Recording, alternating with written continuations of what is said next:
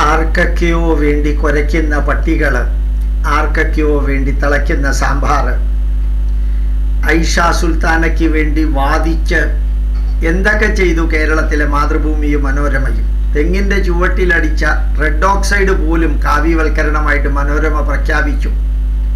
മാതൃഭൂമിയും ഒട്ടും മോശമല്ല. ഇപ്പോ ലക്ഷദ്വീപിൽ എന്താ നടക്കുന്നത്? ഐഷ സുൽത്താന എവിടെ? പത്രസ്വാതന്ത്ര്യത്തിന് വേണ്ടിയിട്ട് കിണഞ്ഞ് പരിശ്രമിച്ച മാതൃഭൂമിയും മനോരമയും വിനു ജോണിന്റെ കാര്യത്തിൽ എന്താ ഒന്നും മിണ്ടാത്തത്? ബി ബി സിക്ക് വേണ്ടിയിട്ട് പ്രവർത്തിച്ചല്ലോ. സിദ്ദിഖാപ്പന് വേണ്ടി പ്രവർത്തിച്ചല്ലോ. എന്തേ? ഇതൊന്നും വേണ്ടേ? നമ്മുടെ നോട്ട് നിരോധനം നടന്നല്ലോ ആറു വർഷങ്ങൾക്ക് മുമ്പ്. നവംബർ എട്ടിന്. അന്ന് നരേന്ദ്രമോദിയെ ജീവനോടെ കിട്ടുമായിരുന്നെങ്കിൽ കേരളത്തിലെ ഈ പള്ളി തന്തമാരും തീവ്രവാദികളും മാമാ മാധ്യമങ്ങളും ജീവനോടെ കത്തിക്കുമായിരുന്നു നരേന്ദ്രമോദിയെ.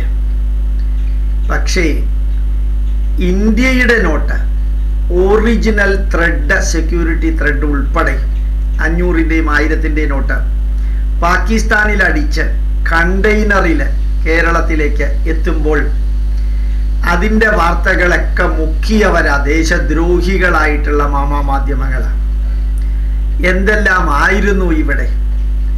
എത്ര എത്ര കോടിയാ പിടിച്ചത് കള്ളപ്പണം? മൻമോഹൻ സിംഗ് എട്ട് വർഷം ഭരിച്ചപ്പോൾ നാലായിരത്തി അറുന്നൂറ് കോടി രൂപയുടെ കള്ളപ്പണം പിടിച്ചു. മൻമോഹൻ സിംഗ് എട്ട് വർഷം ഭരിച്ചോ? എട്ട് വർഷം കൊണ്ട് പത്ത് വർഷം കൊണ്ട്?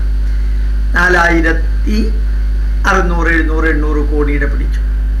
നരേന്ദ്രമോദി എന്ന നരാധമൻ സംഘി ഭരിച്ചപ്പോൾ ഒരു ലക്ഷത്തി അറുപത്തയ്യായിരം കോടി കള്ളപ്പണമാണ് പിടിച്ചത്. ഇനിയും പിടിച്ചുകൊണ്ടിരിക്കുന്നുണ്ട് അങ്ങനെയാണ് ചില ജ്വല്ലറിയിൽ കയറിയത് അറ്റ്ലസ് രാമചന്ദ്രനെ മുച്ചൂട് മുടിപ്പിച്ച ജ്വല്ലറിക്കാരന് സരിതയെ ഉപയോഗിച്ച് ഉമ്മൻചാണ്ടിയെ ഇറക്കിയപ്പോൾ സ്വപ്ന സുരേഷ് വന്ന് ഇതുങ്ങളെ എല്ലാത്തിനെയും കരിവാരി തേക്കുന്ന പോലെ അറ്റ്ലസ് രാമചന്ദ്രന്റെ ശാപം ഏറ്റ് അദ്ദേഹം മരിച്ചു. റെയ്ഡ് നടക്കുന്നു. ഗംഭീര മുന്നൂറ് മുന്നൂറ്റഞ്ച് മുന്നൂറ്റൻപത് കോടി രൂപയുടെ പണം കണ്ടുകെട്ടി കഴിഞ്ഞു. ഇനിയുമുണ്ട്. ഹിന്ദു എന്നോ ക്രിസ്ത്യാനി എന്നോ മുസ്ലിം എന്നോ വ്യത്യാസമില്ലാതെ. ഓരോരുത്തരെ എണ്ണി എണ്ണി എൻഫോഴ്സ്മെന്റ് ഡയറക്ടറേറ്റ് ചോദ്യം ചെയ്യുന്നു. ഇൻകം ടാക്സ് ചോദ്യം ചെയ്യുന്നു. മാമാ മാധ്യമങ്ങൾക്ക്. പ്രത്യേകിച്ച് ശബ്ദമൊന്നുമില്ല. കാരണം അവരെ തീറ്റിപ്പോറ്റിയവർ ഇവരൊക്കെയാണ്.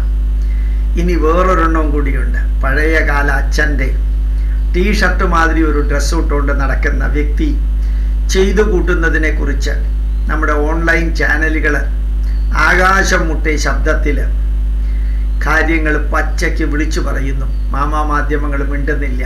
കാരണം അന്നദാത സുഖീ ഭവ മാമാ മാധ്യമങ്ങൾ സത്യത്തിനും ധർമ്മത്തിനും നീതിക്കും ന്യായത്തിനും വേണ്ടി നിൽക്കുന്നു എന്നാണല്ലോ പറയുന്നത്. അവർക്ക് നിന്ന് പിഴയ്ക്കാൻ സത്യത്തിന് വേണ്ടി അവർക്ക് നിൽക്കണ്ടേ? സത്യത്തിനും നീതിക്കും ന്യായത്തിനും ധർമ്മത്തിനും വേണ്ടി നിൽക്കണ്ടേ?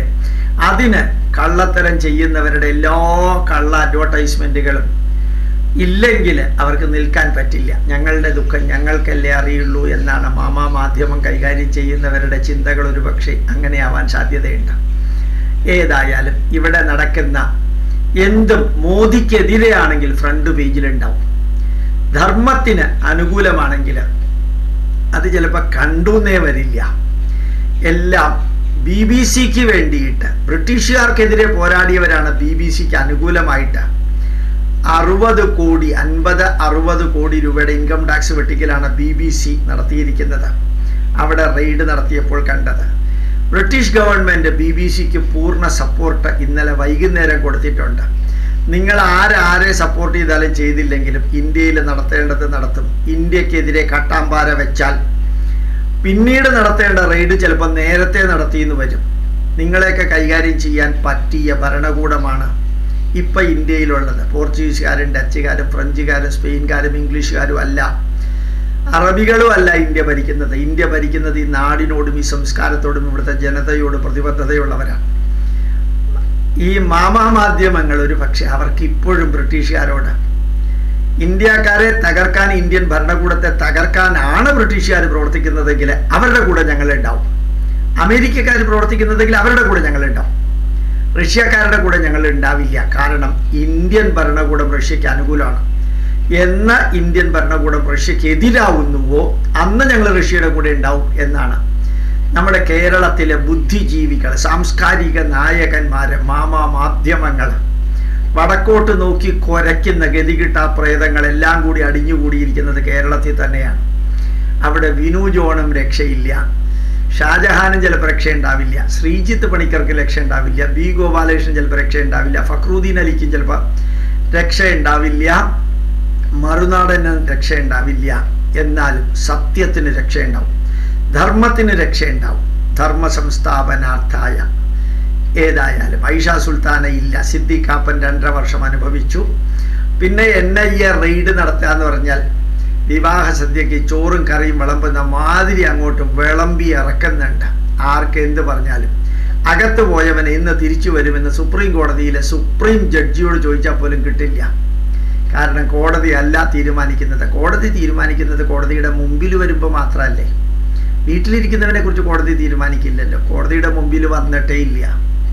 വരികയില്ല അടുത്തൊന്നും. ആരെങ്കിലും വരുത്തിയാൽ അവന്റെ ദുരുദ്ദേശം എന്താണെന്ന് അന്വേഷിക്കാൻ ഒരു ഹത്രസും വേണ്ട ഒരു സി ഐ എയും വേണ്ട ഒരു കെ ജി ബിയും വേണ്ട കേരളത്തിലെ ഭാരതത്തിലെ അജിത് ഡോവലും പിന്നെ അമിത്ഷായും മതി. അവർ നോക്കിയിട്ട് ബാക്കി ചെയ്യേണ്ടത് ചെയ്തോളും. മാമാ മാധ്യമങ്ങളെ മുന്നൂറ്റഞ്ച് കോടി രൂപ.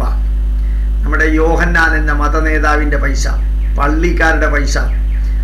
അങ്ങനെ ഓരോ ഹിന്ദു ക്രിസ്ത്യൻ മുസ്ലിം ഉണ്ടാക്കി വെച്ച അഞ്ഞൂറിന്റെയും ആയിരത്തിന്റെയും നോട്ടിന് വേണ്ടി വാദിച്ച നിങ്ങൾ അറിയണം ഒൻപതര കോടി രൂപയുടെ കൈക്കൂലിയാണ് ചിദംബരവും ചിദംബരത്തിന്റെ സെക്രട്ടറിയും കോൺഗ്രസ്സുകാരും. ഇന്ത്യൻ നോട്ട് പാകിസ്ഥാനിൽ അടിച്ചും ഇന്ത്യയിൽ വിതരണം ചെയ്യാനായിട്ടുള്ള അണ്ടർഗ്രൗണ്ട്. എഗ്രിമെന്റ് ഉണ്ടായത്. അവരൊന്നും നിങ്ങൾക്ക് ഇന്ത്യയുടെ ശത്രുക്കളല്ല. ഇന്ത്യയുടെ നന്മയ്ക്ക് വേണ്ടി പ്രവർത്തിക്കുന്നവരാ ഇന്ത്യയുടെ ശത്രുക്കൾ. ഒരു കാര്യം ഉറപ്പാ. നിങ്ങളൊക്കെ വെള്ളം ഇറങ്ങി ചാവുമോ സത്യത്തിൽ? ഈ രാഷ്ട്രത്തിനും ഈ സമൂഹത്തിനും ദ്രോഹം ചെയ്ത് നന്മ ചെയ്യുന്നവരെ തകർക്കാൻ ഇറങ്ങി പുറപ്പെടുന്ന എല്ലാവരും. ഒരു പ്രാർത്ഥനയെ നെഗറ്റീവായിട്ട് ജീവിതത്തിലുള്ളൂ. ഈ നാടിനെ മുടിപ്പിക്കാൻ ഇറങ്ങിയവരാരായാലും അവർക്ക് ചാവാൻ കാലത്ത് വെള്ളം കൊടുക്കുന്നവന് പോലും വെള്ളം കൊടുക്കാൻ ആൾക്കാരുണ്ടാവരുത് എന്നാണ്. അതാണ് നമ്മുടെ നാട് ഇത്രയും അധികം ഇവിടെയുള്ളവർ സഹിച്ചു ഹിന്ദുക്കൾ സഹിച്ചു. എന്നിട്ടും ഈ നാടിനെ മുടിപ്പിക്കാൻ തന്നെ ഇറങ്ങി പുറപ്പെട്ട ഒരു കുടുംബത്തിന് വേണ്ടി വാദിക്കുന്ന നിങ്ങളെയൊക്കെ കാലം എന്നെങ്കിലും ഒരു ശിക്ഷ നടക്കാതിരിക്കും. ബിന്ദു അമ്മിണി ഏതെങ്കിലും പെട്ടിക്കടയിൽ കയറിയാൽ പോലും അവരെ ആട്ടിത്തുപ്പി പുറത്താക്കുന്ന കാഴ്ച എല്ലാ സ്ഥലത്തും കാണാം. ശബരിമലയെ തെണ്ടിക്കാൻ ഇറങ്ങി പുറപ്പെട്ടതാ. തെണ്ടിക്കാൻ ഇറങ്ങിയവരൊക്കെ സുഖമായിട്ട് മുകളിലിരിക്കുന്നുണ്ട്.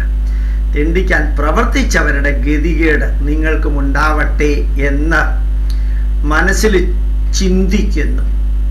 ചെയ്ത കർമ്മത്തിന്റെ നല്ലതിന്റെ അംശം ഇങ്ങനെ ഇവരെ ശിക്ഷിക്കാൻ വേണ്ടിയുള്ള പ്രാർത്ഥനയായി മാറ്റിയാൽ നഷ്ടം എനിക്കാണ്. അതുകൊണ്ട് കാലം അത് ചെയ്യാതിരിക്കില്ല. ഈ നാടിനെ മുടിപ്പിച്ചവൻ. കട്ടിലിൽ കിടക്കുമ്പോൾ ആരെങ്കിലും ഒന്ന് അടുത്ത് അടുത്തിയെന്ന് മക്കളില്ലാത്ത സമയത്ത് ഓർമ്മിപ്പിക്കണം. താൻ താൻ നിരന്തരം ചെയ്യുന്ന രാഷ്ട്രദുഷ്ടകർമ്മങ്ങൾ താൻ താൻ അനുഭവിച്ചിടുകയെന്നേ വരുന്ന നമ്മുടെ മാമാ മാധ്യമങ്ങളെ ഓർമ്മിപ്പിക്കണം. ബുദ്ധിജീവികളെ ഓർമ്മിപ്പിക്കണം. സാംസ്കാരിക നായകന്മാരെ ഓർമ്മിപ്പിക്കണം. ഈ നാടിനെ തെണ്ടിക്കുന്ന ഭരണാധികാരികളെ ഓർമ്മിപ്പിക്കണം. അതിന് ശക്തിയും ചൈതന്യവും ഉള്ളവരുണ്ടാവട്ടെ എന്ന് ആഗ്രഹിക്കുന്നു.